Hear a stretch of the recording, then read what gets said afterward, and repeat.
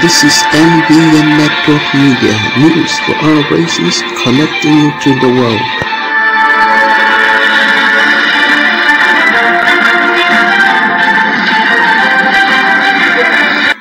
This is NBN Network.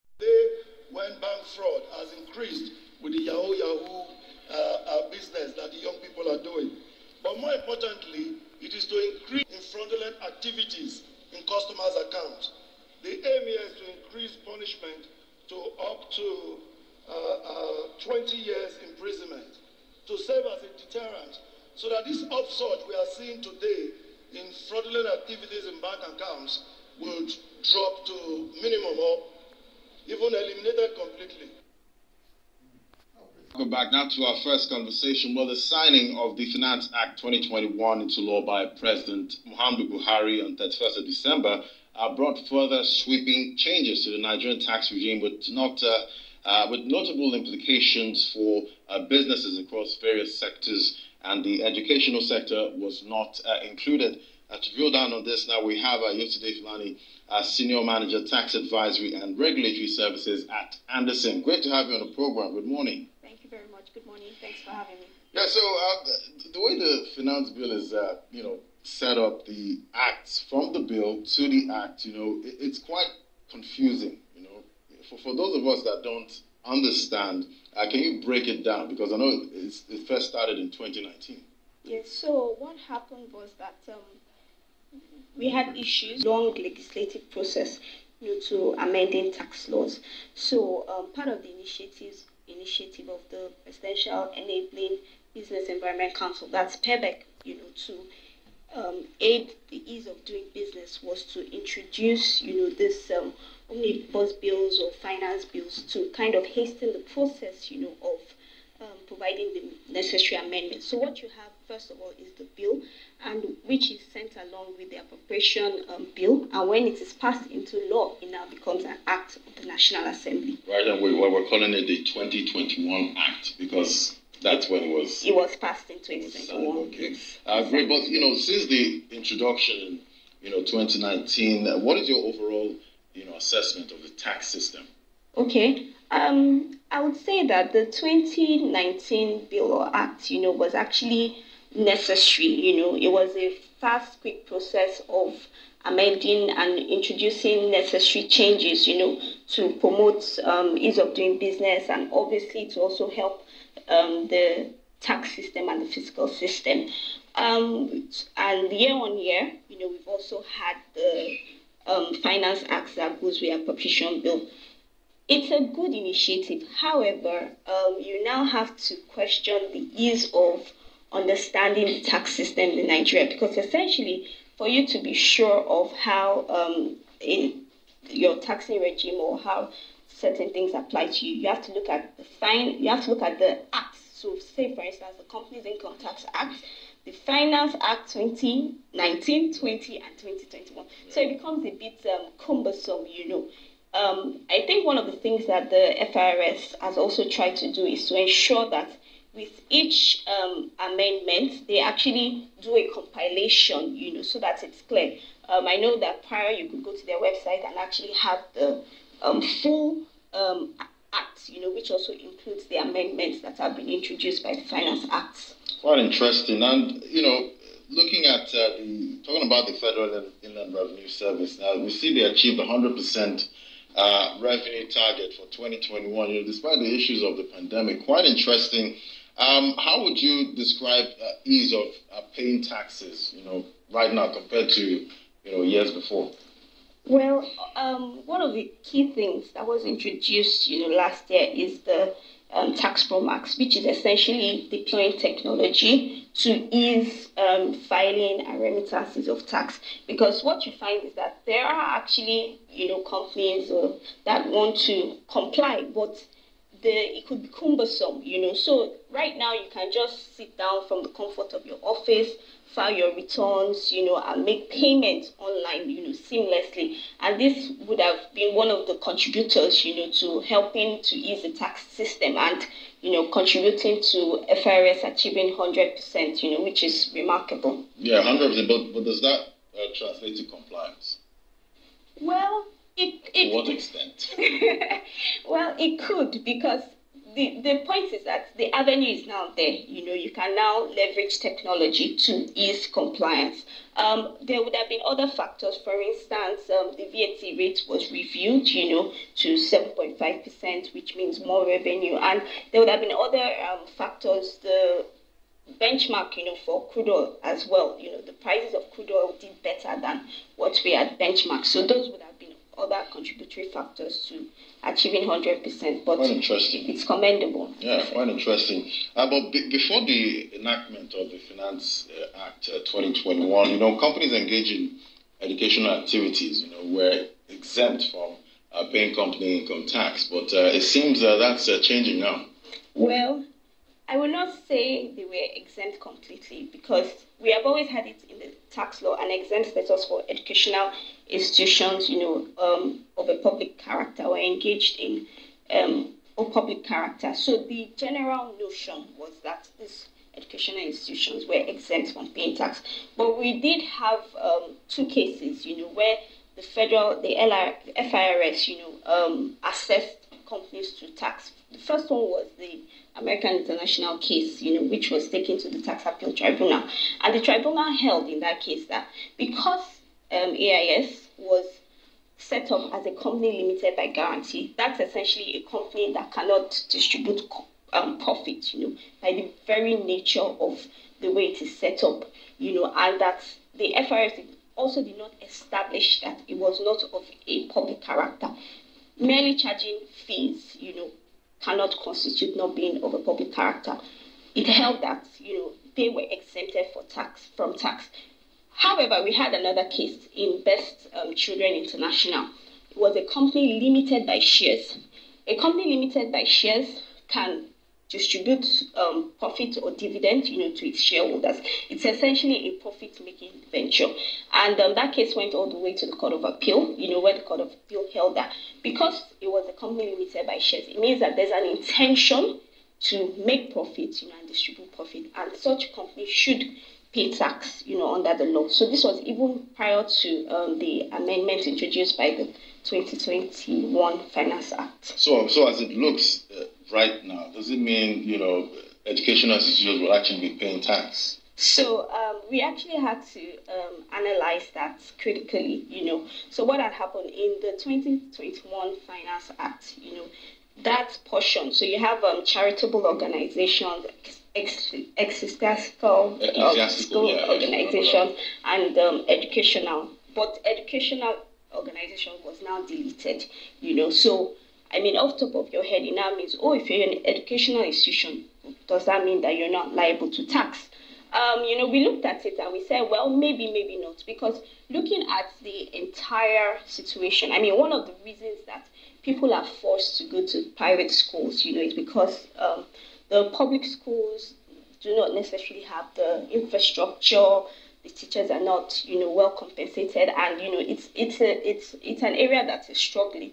So um, there's an there's a school of thought that believes that shouldn't you encourage, you know, um, both local, foreign um, investors to actually participate more actively to develop that sector.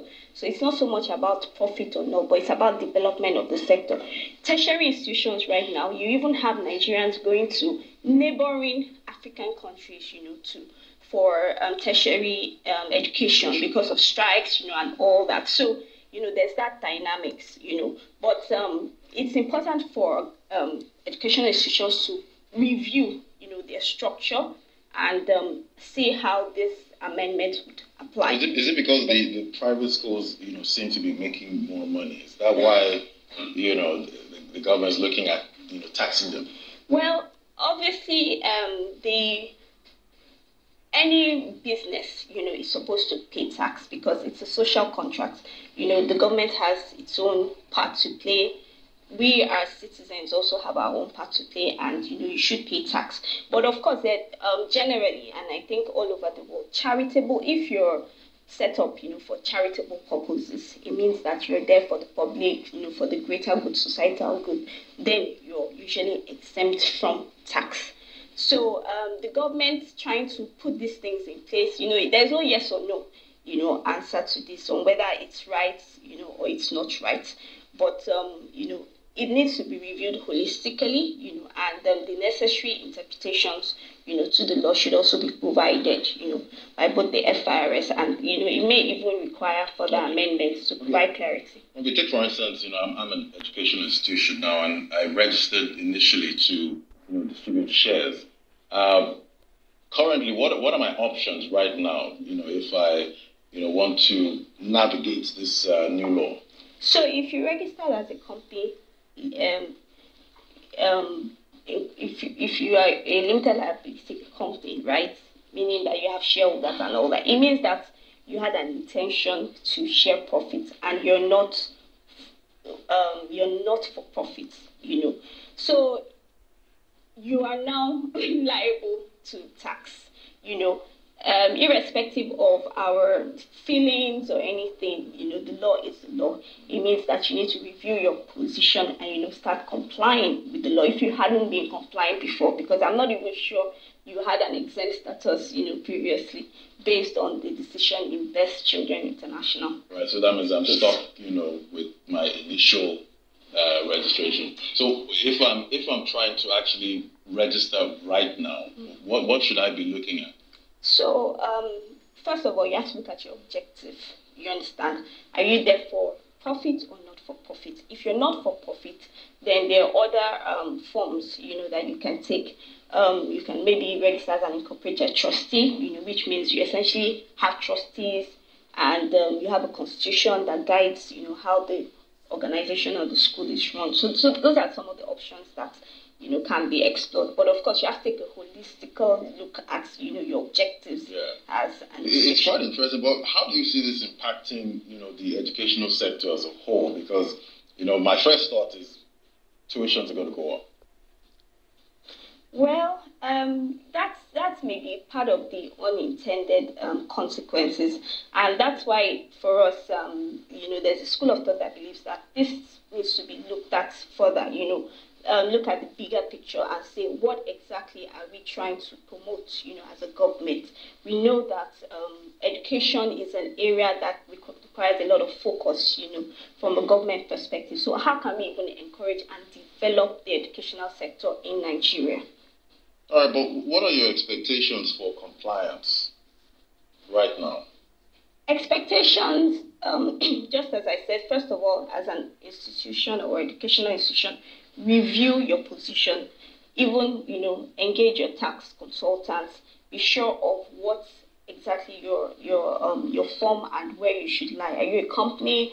You know, are you limited by shares? Are you limited by guarantee? Are you an incorporated trustee? That's you know part of what you should look at. And of course, if you're a company limited by shares, because I mean there are also people that say, oh, even these private schools they charge so much, you know, they should actually, you know, pay tax. You know, there, there are some people that believe that you have to review your position, and as I said, the law is the law. You have to comply. Yeah. There's nobody that is above the law. Exactly, and you know, with all these uh, policies, you know, talking about you know foreign investment in that sector, how do you see this? How do you see the foreign investors reacting to this? Um, if you're an if you're an investor, then you're there to make profits as an investor, you should expect to comply with the laws of, you know, the jurisdiction where you're investing and pay tax, you know. If you go to other countries, you invest and you pay tax.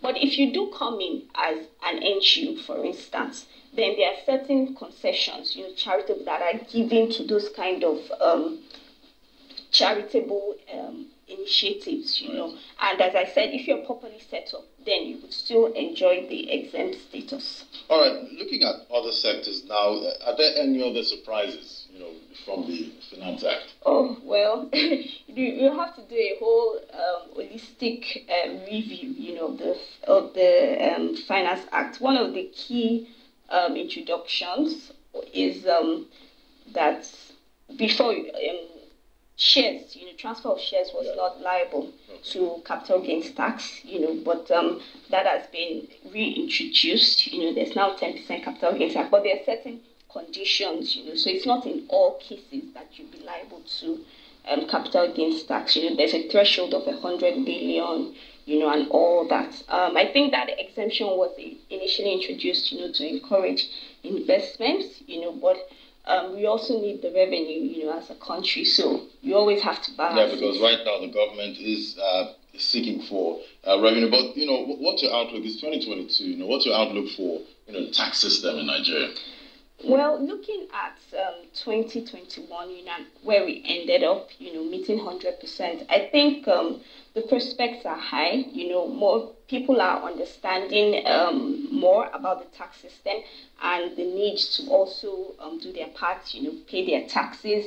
Um, the FIRS is also uh, being more intentional, you know. Um, one of the key things, you know, for us as an organization, and you know, when we have various discussions, is that they should try to expand, you know, tax nets rather than focusing on the people that are already compliant, you know. So this also gives them the opportunity to expand the tax net. We still have the informal sector, you know, and um, you know, a couple of other sin taxes, yes. know, coming up with uh, uh, that one on uh, sugar, sugar consumption and sugar manufacturing. All right, well, uh, it's uh, we'll keep watching, you know, how the education sector reacts you know, it's still uh, early times, you know, right now. We'll see how stakeholders and the government actually discuss and come to an agreement at some point. All right, Ayetunde Filani, uh, Senior Manager, Tax Advisory and Regulatory Services at Andersen. It was great having you on the program today. Thank you very Thank much you. for having me.